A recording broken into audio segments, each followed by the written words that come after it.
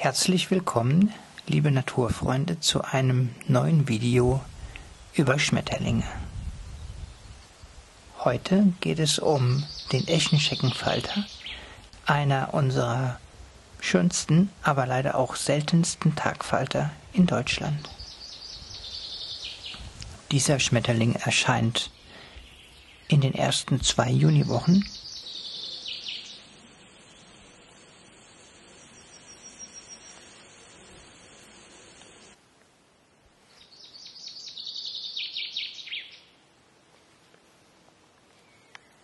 Anfang Juni konnte ich in einem lichten Waldstück einen sehr seltenen Vorgang beobachten.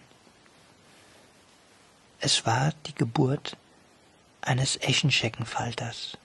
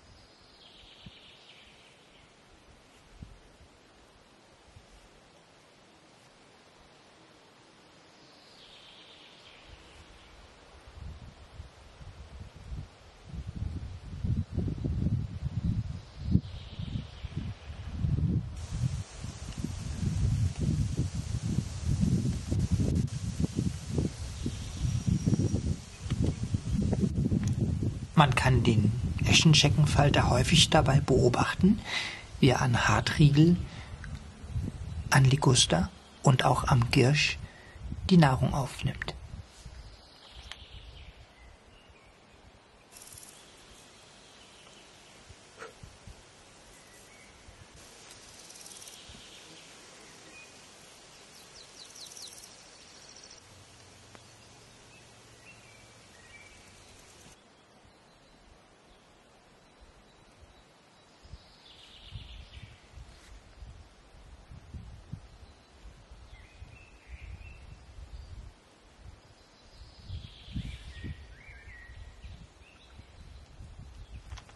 Von Mitte Juni an legen die Weibchen des Eschenscheckenfalters die Eier an der Unterseite der Eschenblätter häufig zu Hunderten ab.